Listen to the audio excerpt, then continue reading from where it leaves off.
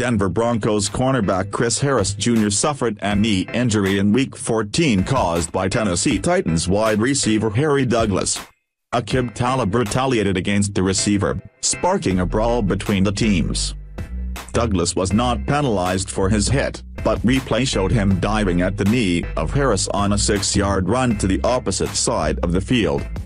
Harris later returned to the field during the second quarter, but on the play following the cheap shot, Talib went after Douglas on the sideline.